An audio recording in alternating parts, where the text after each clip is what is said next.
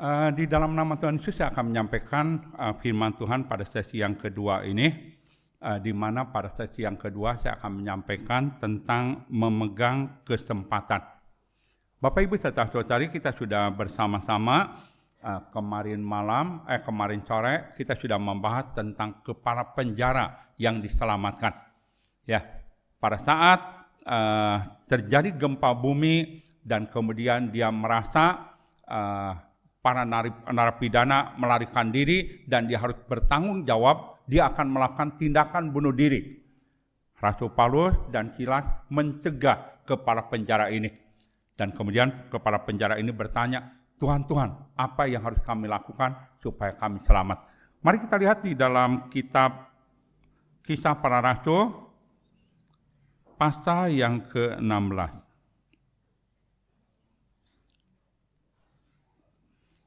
Kisah para Rasul pasal yang ke-16 dari ayat 30. Ia mengantar mereka keluar sambil berkata, Tuan, Tuan, apa yang harus kuperbuat supaya aku selamat? Jawab mereka, percayalah kepada Tuhan Yesus Kristus dan engkau akan selamat, engkau dan seisi rumahmu. Bapak Ibu saudara-saudari, kita tahu di akhir hidup dari orang kaya yang berada di dalam kubur, dia penuh penyesalan. Pada saat dia berada di dalam alam maut, dia sangat menderita sengsara di sana. Pada saat dia memikirkan saudara-saudaranya, dia berpikir dia harus menyelamatkan saudara-saudaranya, tapi tidak ada kesempatan lagi. Dia sangat menyesal. Dan kita berharap, ya saat kita masih hidup, saat kita masih bernapas, saat Tuhan masih memberikan kesempatan, kita akan memegang kesempatan dengan sebaik-baiknya. Nah, bagaimana kita bisa diselamatkan? Rasul Paulus mengatakan kepada kepala penjara itu, percayalah kepada Tuhan Yesus Kristus, engkau dan seisi keluargamu akan diselamatkan. Mungkin ada beberapa di antara saudara sekalian ya yang belum mengenal kekristenan, kita bertanya, kenapa kita harus percaya kepada Yesus Kristus? Siapakah Yesus Kristus itu? Bapak Ibu saudara-saudari, pertanyaan tentang siapa Yesus, ya, bagaimana kehidupan daripada Yesus itu banyak sekali uh, pendapat-pendapat, uh, pernyataan-pernyataan yang diungkapkan oleh banyak orang. Ada yang berpendapat Yesus adalah orang baik, ada yang berpendapat Yesus adalah yang menyesatkan, dan banyak pernyataan yang lain. Mari kita lihat di dalam Yohanes pasal 7. Injil Yohanes pasal yang ketujuh. Kita lihat dari ayat yang ke-11. Orang-orang Yahudi mencari dia di pesta itu dan berkata, di manakah dia? Banyak terdengar bisikan di antara orang banyak tentang dia. Ada yang berkata, ia orang baik. Ada pula yang berkata, tidak, ia menyesatkan rakyat. Bapak Ibu yang kasih oleh Tuhan, pernyataan tentang Yesus Kristus yang bertolak belakang satu dengan yang lain. Bukan hanya uh, terjadi pada masa sekarang ini, juga terjadi pada saat Tuhan Yesus ada di tengah-tengah dunia ini. Ada orang yang berpendapat dia orang baik, ada orang yang berpendapat dia menyesatkan, dan lain sebagainya. Bahkan satu masa Tuhan Yesus bertanya kepada murid-muridnya, menurut pendapat orang, siapa aku ini? Mari kita lihat di dalam Matius pasal yang ke-16. Matius pasal yang ke-16.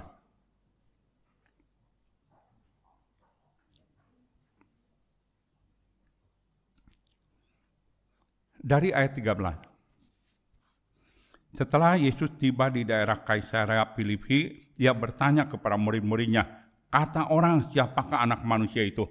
Ada yang mengatakan Yohanes Pembaptis, ada pula yang mengatakan Elia, ada pula yang mengatakan Yeremia atau salah seorang dari para nabi. Lalu Yesus bertanya pada mereka, apa katamu, siapa aku ini? Jawab Simon Petrus, engkau adalah Mesias, anak Allah yang hidup. Bapak Ibu, banyak orang pada saat Yesus ada di tengah-tengah dunia ini menyampaikan pendapat berbeda-beda tentang siapa Yesus. Ada yang berkata Elia, ada yang berkata Yohanes Pembaptis, ada yang berkata Yeremia, atau para nabi yang lain.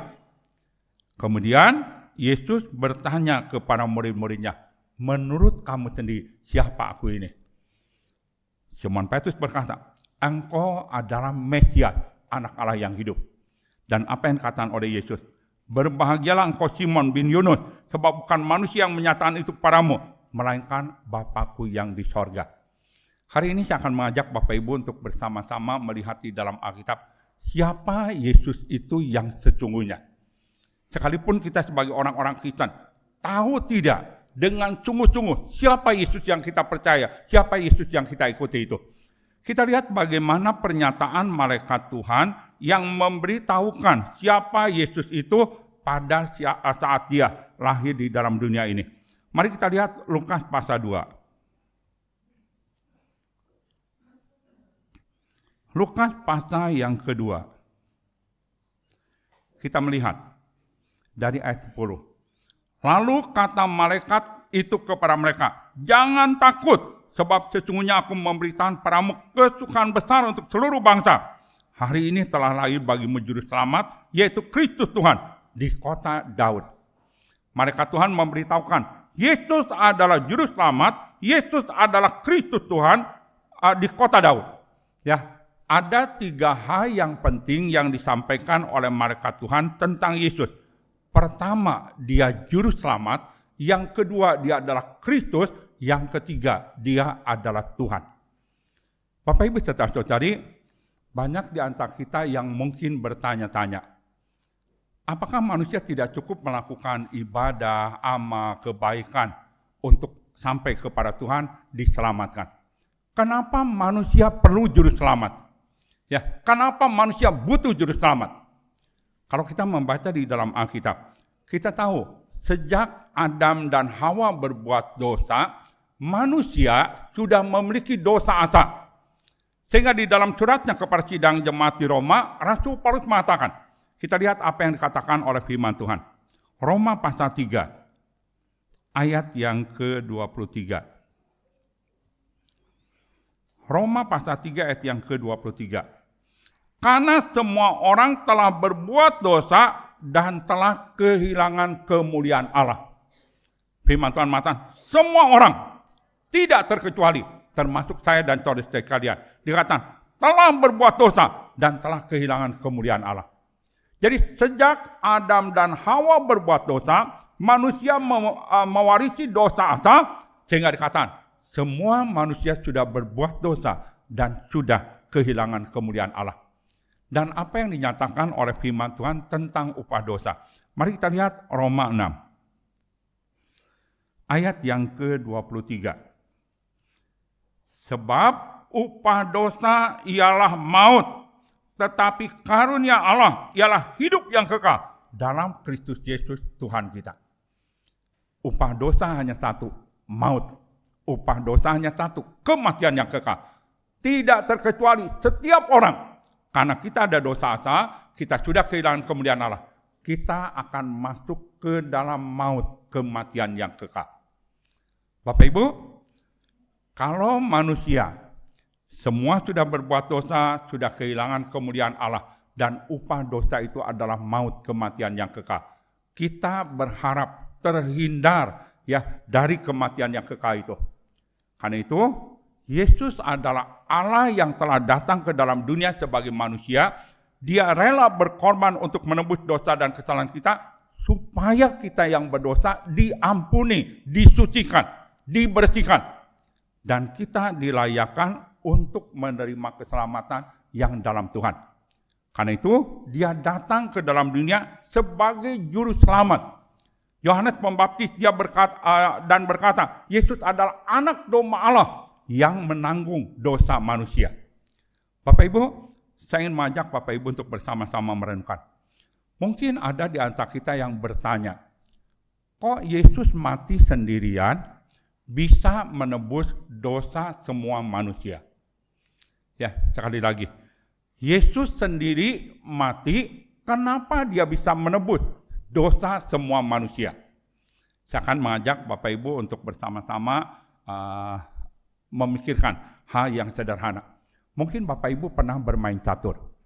Saya ingat waktu SMP kelas 1 saya mulai bermain catur, diajar oleh teman karena saya tidak mengerti main catur, sering kali empat langkah mati.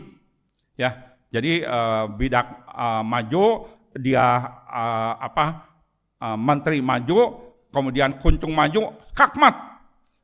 Saya lihat di depan mata, baru empat langkah mati lagi, mati lagi. Jadi dua kali, tiga kali mati terus, baru mulai mikir gimana supaya nggak mati. Bapak Ibu, mari kita bersama-sama kita merenungkan.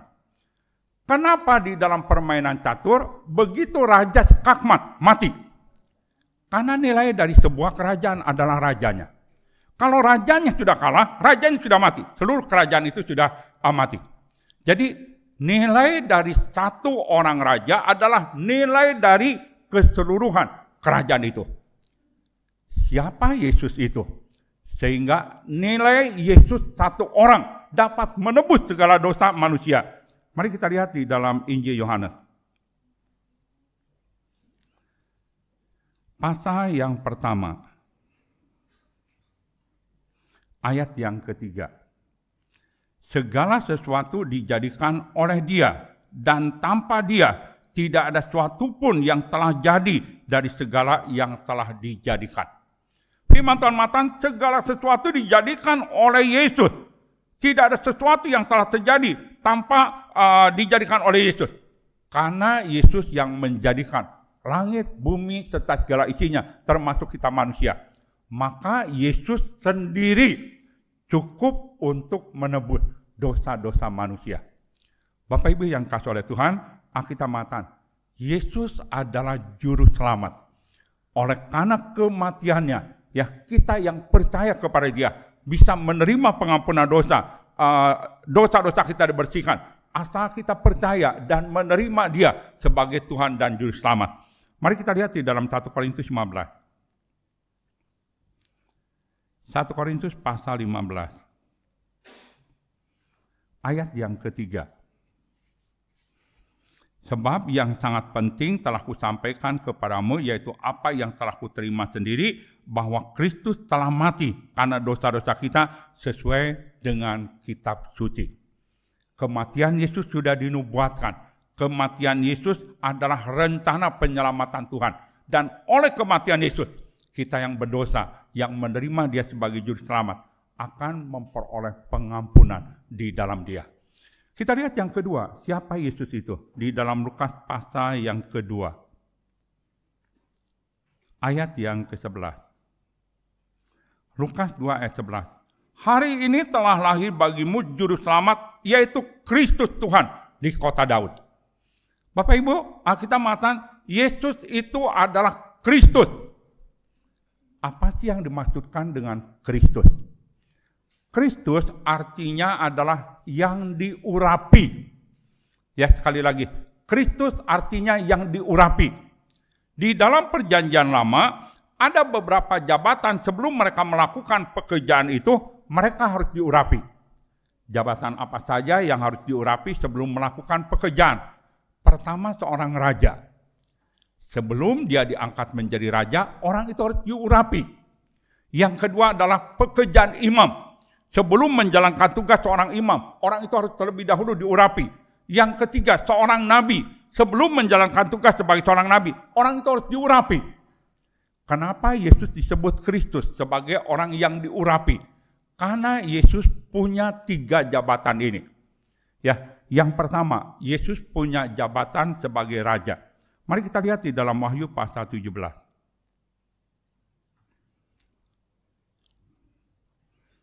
Wahyu pasal 17 ayat yang ke-14. Mereka akan berperang melawan anak domba, tapi anak domba akan mengalahkan mereka. Karena ia adalah Tuhan di atas segala Tuhan, Raja di atas segala Raja. Mereka bersama-sama dia juga akan menang, yaitu mereka yang terpanggil, yang telah dipilih dan yang setia. Firman Tuhan mengatakan, Yesus adalah Tuhan di atas segala Tuhan, Raja di atas segala Raja. Sehingga sebelum Tuhan Yesus naik ke uh, sorga, dia berkata, segala kuasa baik di surga ataupun di bumi ada di dalam tangan dia. Kita lihat Matius 28. Injil Matius 28. Kita lihat ayat yang ke-18. Yesus mendekati mereka dan berkata, Kepadaku telah diberikan segala kuasa di sorga dan di bumi. Ya, Tuhan memiliki kuasa di sorga dan di bumi. Sebab dia adalah raja di atas segala raja. Kedudukan yang kedua seseorang yang diurapi adalah seorang imam. Bagaimana dengan Yesus? Kita lihat di dalam Ibrani pasal 4. Ibrani pasal yang keempat. Ayat yang keempat-belas.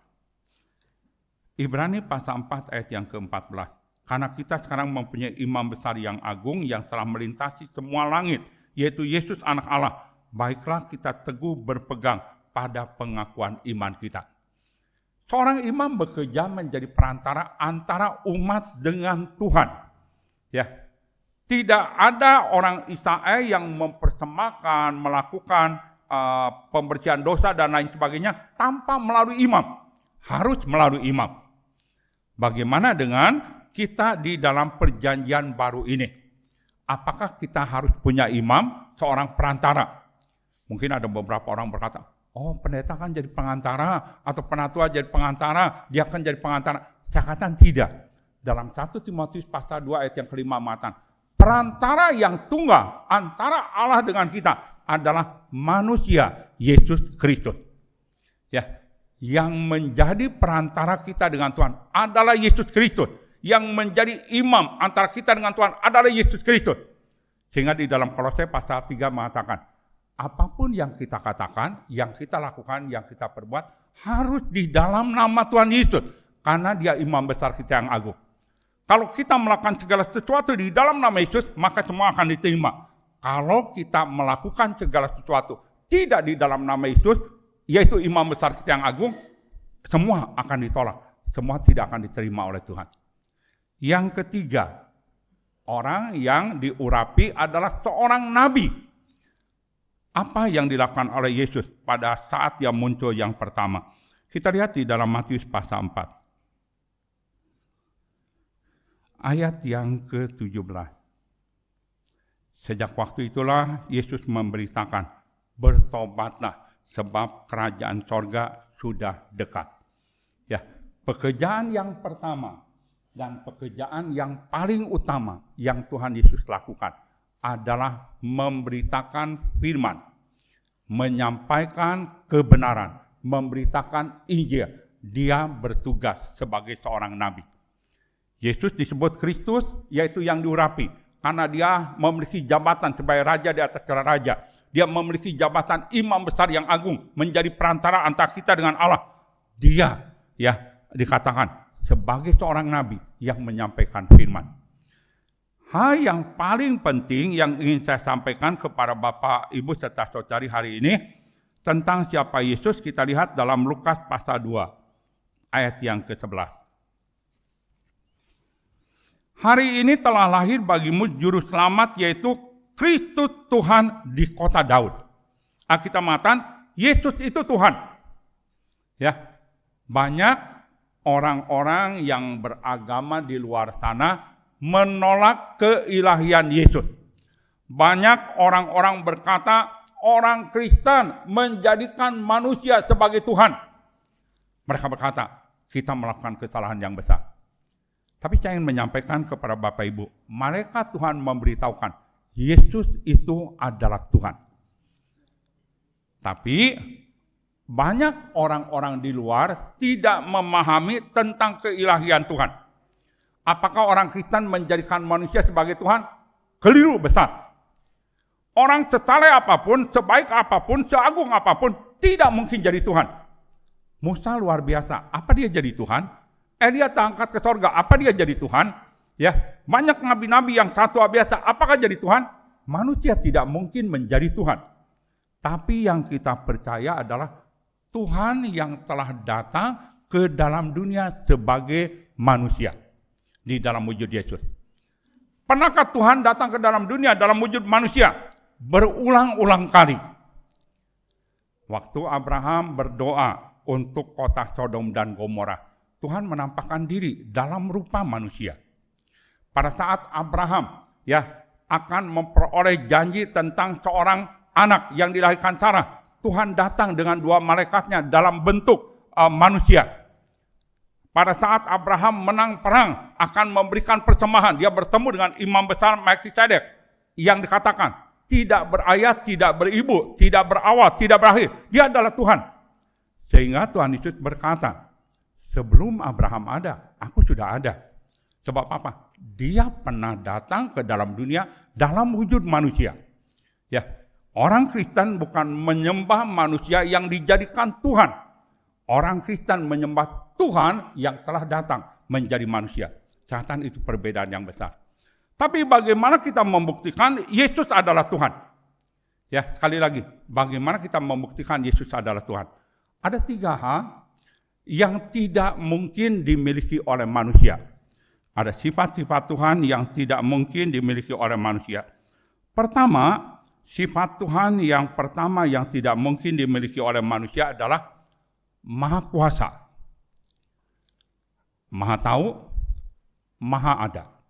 Ya, manusia sehebat apa pun tidak mungkin maha kuasa. Ada keterbatasan. Tapi bagaimana dengan Yesus? Kita lihat di dalam Matius pasal 4 ayat 23. Matius pasal 4 ayat yang ke-23.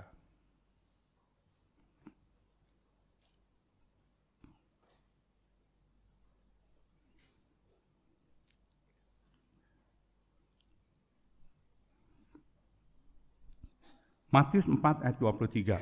Yesus berkeliling di seluruh Galilea, ia mengajar dalam rumah-rumah ibadat dan memberitakan Injil kerajaan Allah serta melenyapkan segala penyakit dan kelemahan di antara bangsa itu. Tercerialah berita tentang dia di seluruh Syria. Dibawalah kepadanya semua orang yang buruk keadaannya, yang menderita berbagai penyakit dan sengsara, yang kerasukan dan sakit ayan, yang lumpuh. Lalu Yesus menyembuhkan mereka. Bapak Ibu, Tuhan Yesus berkuasa atas segala penyakit manusia. Setiap orang yang sakit, yang lumpuh, yang buta, yang tuli, datang kepada Tuhan. Dan Yesus menyembuhkan mereka. Bapak Ibu, kalau Anda punya profesi sebagai seorang dokter, mungkinkah Anda akan menerima semua pasien dengan kondisi yang berbeda-beda dan Anda berkata, saya bisa menyembuhkannya. Setan tidak mungkin. Tapi setiap orang yang sakit datang kepada Tuhan, Tuhan menyembuhkan. Kenapa? Karena dia maha kuasa. Yang kedua, ada orang yang kerasukan setan di Gerasa. Tuhan Yesus berkata, kamu siapa? Legion. Legion artinya sekumpulan pasukan yang besar. Dan setan-setan itu ketakutan. Dan uh, setan itu berkata, jangan uh, siksa kami sebelum waktunya Ya, dan kemudian mereka berkata, biarkan kami masuk ke dalam babi-babi. Tuhan Yesus mengusir roh-roh jahat itu dan kemudian roh jahat itu masuk ke dalam babi. Masuk ke dalam babi berapa ekor? 2000 ekor. Sangat banyak setan-setan yang ada di dalamnya. Hanya dengan satu perkataan, Yesus mengusir seluruh roh jahat itu. Kenapa? Karena dia adalah Tuhan. Pada saat murid-murid Tuhan naik sebuah perahu, dan kemudian perahu itu digoncang-gancingkan oleh angin sangat yang sangat hebat. Mereka ketakutan. Dan kemudian mereka membangunkan Yesus yang sedang tidur. Yesus bangun dan kemudian berkata kepada angin itu, "Diam, tenanglah." Badai berhenti, angin menjadi tenang, ombak menjadi tenang. Kenapa? Karena Yesus adalah Tuhan yang berkuasa atas alam. Pada saat orang-orang kelaparan, ada orang membawa lima roti dan dua ikan. Murid-murid berkata, untuk apa lima roti dan dua ikan? Untuk orang yang sebanyak ini. Tuhan Yesus mengambil, mengucap syukur, memberkati, dan kemudian dibagi-bagikan. Ternyata semua orang menjadi kenyang. Bahkan pada saat dikumpulkan masih ada sisa 12 bakul.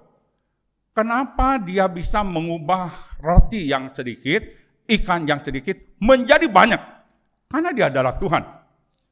Pada saat Tuhan diminta untuk membayar pajak, dia berkata kepada Simon Petrus, kamu pancing. Dan kemudian saat kamu menangkap ikan yang pertama, buka mulut ikan itu. Kamu akan mendapatkan empat keping uang dirham. Dua bayar untuk kamu, dua bayar untuk aku. Petrus mancing ikan, mendapat ikan yang pertama. Dan kemudian mulutnya dibuka. Ada empat dirham uang yang ada di sana. Bapak Ibu, ikan ada berapa sih di dunia ini? Sangat banyak dan tidak terhingga. Ikan yang ada uh, dua keping uang nilai empat dirham itu ada berapa ekor? Hanya satu-satunya. Kok bisa Tuhan mengatur supaya ikan itu uh, menang, uh, ditangkap dalam pancingan yang pertama oleh Petrus? Karena dia adalah Tuhan. Dan yang sangat luar biasa adalah Tuhan Yesus pernah membangkitkan orang mati. Anak Yairus, anak janda Nain, bahkan Lazarus yang sudah empat hari mati bangkit dari kematian. Dan bahkan Tuhan Yesus sendiri yang sudah mati, bangkit pada hari ketiga dan akhirnya dia diangkat ke sorga. Kenapa Yesus bisa melakukan semuanya itu? Karena dia punya sifat maha kuasa. Karena dia adalah Tuhan. Yang kedua, sifat manusia yang tidak mungkin dimiliki, uh, sifat Tuhan yang tidak mungkin dimiliki oleh manusia adalah maha tahu. Bapak Ibu pada saat dia mengajarkan uh, kebenaran, dia bercerita tentang Musa, tentang Daniel dan lain sebagainya. Bapak Ibu serta saudari berkata, oh kalau kita berbicara tentang hal-hal yang sudah terjadi, kita berkata, mudah saya bisa belajar tentang sejarah. Yang kedua, Yesus tahu hati manusia. Pada saat dia bertemu dengan Nathanael, dia berkata, kamu orang Israel sejati, tidak ada kepalsuan di dalam diri kamu. Saat dia dicobai oleh orang-orang Farisi, ahli-ahli Taurat, dikatakan, Tuhan Yesus tahu hati manusia. Bapak Ibu, hari ini ada banyak di antara kita menjadi suami istri. Suami belum tentu memahami perasaan dan hati istri. Istri belum tentu memahami perasaan dan hati istri, uh, hati suami. Ya, sehingga ada pepatah mengatakan sedalam-dalamnya lautan kita bisa ukur sedalam-dalamnya hati manusia siapa yang tahu. Tapi Tuhan tahu hati manusia. Yang ketiga, yang paling penting, Tuhan tahu masa yang akan datang. Kalau kita membaca di dalam Matius 24, Tuhan Yesus berkata, oh pada akhir zaman akan terjadi perang bangsa melawan bangsa, kerajaan melawan kerajaan. Akan banyak terjadi gempa bumi, kelaparan, dan lain sebagainya. Dan apa yang terjadi? Setiap perkataan yang diucapkan oleh Tuhan Yesus yang menyangkut tentang akhir zaman, semua digenapi satu persatu dan tidak ada yang gugur. Kenapa? Dia maha tahu. Dia adalah Allah. Bapak Ibu yang dikasih oleh Tuhan. Yang ketiga, ya, yang tidak kalah pentingnya adalah sifat Allah yang tidak mungkin dimiliki oleh manusia adalah maha ada atau maha hadir. Tuhan pernah berkata, aku akan menyertai kamu sampai akhir zaman. Kita lihat dalam Matius 28. Matius pasal yang ke-28 ayat 20. Ajarlah mereka melakukan segala sesuatu yang telah kuperintahkan padamu, ketahuilah aku menyertai kamu senantiasa sampai kepada akhir zaman. Bapak Ibu, ada di antara kita yang bisa berkata, saya akan menyertai anak-anak saya sampai akhir zaman. Apakah hari ini kalau kita sudah punya cucu, kita akan berkata, saya akan menyertai cucu-cucu saya sampai akhir zaman? Bagaimana kita akan menyertai anak-anak kita sampai akhir zaman? Atau cucu-cucu kita sampai akhir zaman? Karena batas waktu kita manusia uh, ada batasnya. Tapi kenapa Tuhan bisa menyertai sampai akhir zaman? Sebab dia adalah Tuhan yang hidup dan menyertai kita sampai selama-lamanya. Di dalam Matius 18 ayat 19 dan 20 Tuhan Yesus berkata, Dua tiga orang berseru di dalam namaku, aku ada di tengah-tengah kamu. Bagaimana dua tiga orang berkumpul di Jakarta, di Sunta, di Kelapa Gading, di uh, di keran sana atau mungkin di waktu yang sama di berbagai tempat kita berkumpul di dalam nama Tuhan dan Tuhan ada di di tempat itu. Sebab dia Tuhan yang maha hadir. Bapak Ibu yang kasih oleh Tuhan, kita tahu di dalam Alkitab siapa Yesus itu. Dia adalah juru selamat yang menyelamatkan manusia dari dosa-dosanya kita yang percaya menerima pengampunan di dalam dia, kita akan beroleh bagian keselamatan di dalam dia. Yang kedua, Yesus itu adalah Kristus. Sebab dia adalah raja di atas segala raja, imam besar kita yang agung, dia adalah nabi yang menyampaikan firman. Yang ketiga, ya, Yesus itu adalah Tuhan. Sebab dia punya sifat maha kuasa, sebab dia punya sifat maha tahu, sebab dia punya sifat maha hadir dia adalah Tuhan. Karena itu Rasul Paulus berkata, kalau kamu mau selamat, percayalah Yesus Kristus. Hari ini tawaran yang sama ditawarkan oleh Tuhan kepada kita. Kalau kita ingin selamat, percayalah kepada Yesus Kristus. Sebab dia adalah juru selamat kita. Sebab dia adalah Kristus bagi kita. Sebab dia adalah Tuhan kita. Kita lihat eh, yang kedua. Kita baca kisah Rasul pasal yang kedua. Kisah Rasul pasal yang kedua. Ayat 38. Jawab Petrus pada mereka, bertobatlah dan hendaklah kamu masing-masing memberi dirimu dibaptis dalam nama, dalam nama Yesus Kristus untuk pengampunan dosamu. Maka kamu akan menerima karunia roh kudus. Ada langkah yang kedua bagaimana kita diselamatkan. Kita mengatakan, bertobatlah. Bapak Ibu serta saudari, apa yang katakan bertobat? Bertobat sadar akan dosa-dosa. Menyesal akan dosa-dosa. Menangis akan dosa-dosa. Mengakui akan dosa-dosa. Mohon pengampunan akan dosa-dosa. Dan kemudian berubah. Tidak melakukan lagi dosa-dosa. Itu yang yang dimaksudkan dengan bertobat. Tuhan mau supaya kita bertobat meninggalkan dosa-dosa kita yang lama dan hidup dalam kehidupan yang benar seturut sesuai dengan kehendak Tuhan. Pertobatan ada dua macam. Pertobatan dalam masalah perbuatan dan yang kedua adalah pertobatan dalam iman kepercayaan yang salah. Kalau kita sungguh-sungguh bertobat, kita akan menerima bagian di dalam Tuhan. Dan yang ketiga disingkatan dibaptis ya untuk pengampunan dosamu. Banyak orang-orang Kristen sering kali berkata, oh dibaptiskan hanya syarat masuk gereja. Dibaptiskan hanya syarat masuk dalam anggota gereja tertentu. Oh dibaptiskan hanya syarat menjadi uh, apa tuh bagian dari Kristen yang tertentu. Tapi apa yang diungkapkan oleh firman Tuhan pada kita? Dibaptis ada kaitannya dengan keselamatan. Di sini katakan, ya Bertobatlah, hendaklah kamu masing-masing memberi dirimu dibaptis dalam nama Yesus Kristus untuk pengampunan dosamu. Kenapa baptisan ada pengampunan dosa? Sebab Yesus sudah mencurahkan darahnya di atas kayu salib, menyerahkan nyawanya di atas kayu salib. Dan oleh darah itu, pengampunan dosa terjadi kepada setiap kita yang percaya dan menerima keselamatan di dalam dia. Dalam Ibrani pasal 9 ayat 22 matan, tanpa penumpahan darah tidak ada pengampunan. Ya, tanpa penumpahan darah tidak ada pengampunan. Karena itu kalau kita yang ingin memperoleh pengampunan, hanya ada satu jalan yang kita ah, harus tempuh. Menerima baptisan. Karena melalui baptisan ada darah Tuhan yang bekerja untuk mengampuni dosa kita, menyucikan dosa-dosa kita. Kita lihat di dalam 1 Yohanes pasal 5. 1 Yohanes pasal yang kelima.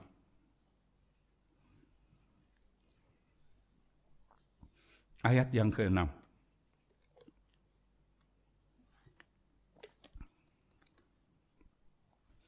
Inilah dia yang telah datang dengan air dan darah, yaitu Yesus Kristus, bukan saja dengan air, tapi dengan air dan dengan darah. Dan rohlah yang memberi kesaksian, karena roh adalah kebenaran. Ya, di sini katakan, dia telah datang dengan air dan dengan darah, yaitu Yesus Kristus. Bukan hanya dengan air, tapi dengan air dan dengan darah. Rohlah yang memberi kesaksian. Bapak Ibu, saya akan mengajak Bapak Ibu untuk bersama-sama merenungkan. Kalau di dalam baptisan yang kita terima hanya ada air. Sekali lagi, kalau dalam baptisan yang kita terima hanya ada air, apa bedanya Anda dengan mandi? Sepuluh kali mandi membersihkan dosa? Tidak. Seratus kali mandi membersihkan dosa? Tidak. Seribu kali kita mandi membersihkan dosa? Tidak. Kalau baptisan hanya ada air, tidak ada pengampunan dosa. Tapi dikatakan dengan jelas, Yesus datang dengan apa? Dengan air dan darah.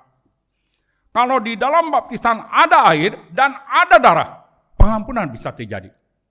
Sebab Tuhan Yesus telah mengalihkan darahnya di uh, kayu salib. Ya, melalui darah itu kita memperoleh pengampunan di dalam Tuhan. Kalau tidak ada darah Kristus yang bekerja di dalam baptisan, catatan tidak ada pengampunan. Bapak Ibu yang kasih oleh Tuhan, bagaimana di dalam baptisan bukan hanya ada air dan dengan darah. Sebab ada roh yang memberi kesaksian. Harus ada roh kudus yang bekerja. Baru ada air dan eh, darah yang bekerja. Di dalam gereja kami, gereja Yesus Jati, kami sering kali melakukan baptisan. Uh, saya ingat tahun 94 kita ada baptisan di Ancol 48 orang. Ada 8 orang saudara dari seiman melihat ya sekeliling sekeliling pembaptis dengan orang yang dibaptis air berubah menjadi darah. Saya ingat di uh, Cilacap tahun berapa ada delapan orang yang dibaptis, ada dua orang saudara dari yang melihat air berubah menjadi darah. Banyak kesaksian di Taiwan, di Amerika, di Afrika, dan lain sebagainya. Saat baptisan dilakukan di dalam nama Yesus Kristus dengan baptisan yang sesuai dengan firman Tuhan, ada air dan darah yang bekerja. Bapak Ibu, sekali lagi, kalau baptisan hanya ada air, tidak ada bedanya dengan kita mandi. Tapi kalau di dalam baptisan ada air dan ada darah, baru khasiat pengampunan dosa akan terjadi. Dan dikatakan ada air dan ada darah dan roh yang memberi kesaksian. Orang yang melakukan baptisan harus terima roh kudus terlebih dahulu. Orang yang menerima roh kudus artinya orang yang diutus. Kalau seseorang adalah orang yang diutus oleh Tuhan, baru di dalam baptisan itu ada khasiat pengampunan dosa. Ya, karena itu ditekankan dengan jelas. Ada air, ada darah, dan ada Roh Kudus. Bapak Ibu yang kasih oleh Tuhan, mari jangan sampai kita seperti orang kaya yang menyesal di dalam kubur karena dia mengalami kesengsaraan dan penderitaan. Jangan sampai kita seperti orang kaya itu yang sangat menyesal memikirkan tentang apa yang akan dialami dan apa yang akan terjadi kepada saudara-saudaranya. Selama kita masih bernapas, masih hidup, masih ada kesempatan pegang kesempatan dengan sebaik-baiknya hari ini. Pegang kesempatan sebaik-baiknya saat ini. Percaya Yesus ada kesempatan. Bertobat ada kesempatan. Dibaptis juga ada kesempatan. Kalau kita pegang kesempatan itu dengan sebaik-baiknya, kita berharap kelak saat kita Tuhan eh, saat Tuhan memanggil kita pulang, kita akan kembali ke sorga yang mulia. Tapi kalau kita kehilangan kesempatan, tidak memegang kesempatan dengan sebaik-baiknya, Jangan sampai Anda menyesal pada saat kita masuk ke dalam alam maut dan bahkan kemudian kita mengalami kesengsaraan pada saat kita masuk ke dalam api neraka. Kiranya firman Tuhan yang disampaikan ya dapat membuka pemikiran kita, wawasan kita supaya jangan sampai kita menyesal di dalam seumur hidup kita. Tetapi kita akan bersuka cita dengan orang-orang yang diselamatkan kelak masuk ke dalam kerajaan surga yang mulia yang Tuhan sudah sediakan. Tuhan memberkati. Amin.